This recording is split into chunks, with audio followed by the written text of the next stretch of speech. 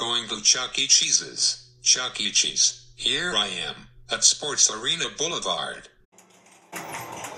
This is factory worker's apology note because he yelled Chuck E. Cheese during the birthday show on Thursday. Go tell factory worker to say sorry to Chuck E. Cheese. Hey factory worker, I have your apology note. Since Gardener give your apology note, since you wrote it on Thursday after since you yelled Chuck E. Cheese during the birthday show on Thursday. Now factory worker, what do you have to say to Chuck E. Cheese? Chuck E. Cheese, I'm sorry for yelling at you during the birthday show on Thursday. I just want to give you a hint to say sorry for yelling at you. That's very nice of you. But next time, keep it quiet during the birthday show, okay? Okay. Wow, factory worker. You did an excellent job for apologizing to Chuck E. Cheese. I'm very proud of you. Yep, I sure did. Now let's play arcade games.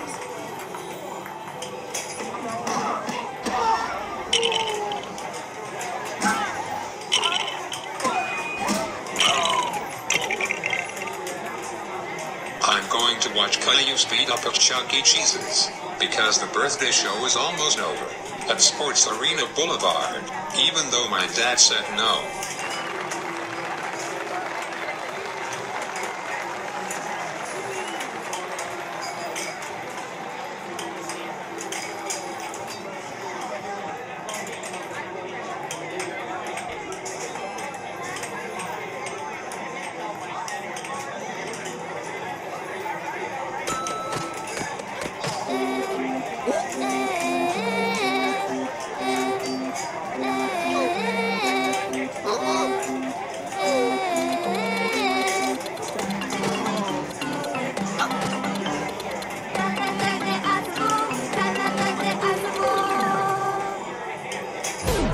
No.